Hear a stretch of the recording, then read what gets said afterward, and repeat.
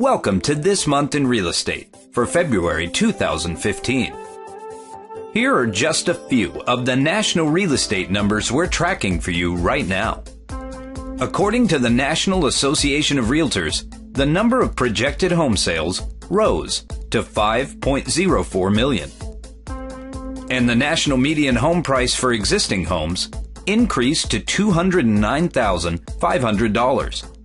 That's up 1.1% from last month and up 6% from this same time last year. If you're looking to sell, now might be a good time to enter the market.